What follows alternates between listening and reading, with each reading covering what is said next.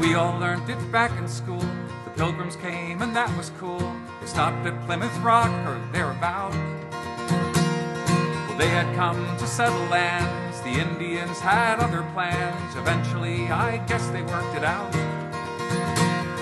And after they had gathered all their harvest for the season, they had a meal for one and all despite their disagreements. And after turkey, after corn, they all were feeling. Thanksgiving time. Thanksgiving time.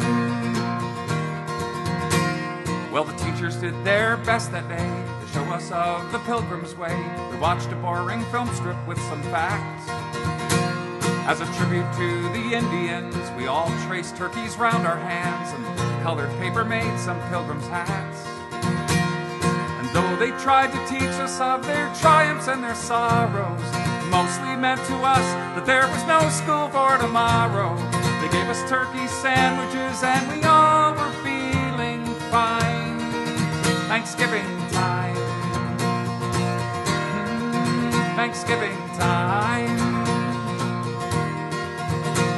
A quick hello to relatives. There's football on the televis. The men folks stare as if they're in a trance. Don't throw that football in the house. Gonna play, then just go out. And careful, don't get grass stains on your pants. I start out with a drumstick and I make my way to stuffing. My brother asks me if I'm full, I tell him that was nothing. Top it off with candied yams and I end with pumpkin pie. Thanksgiving time. Mm, Thanksgiving time. And so we do it every year, the fourth Thursday of November, although we're not quite sure just what it means. I mean, the only way we harvest now is pushing shopping carts around and hunt for frozen turkey and ice cream.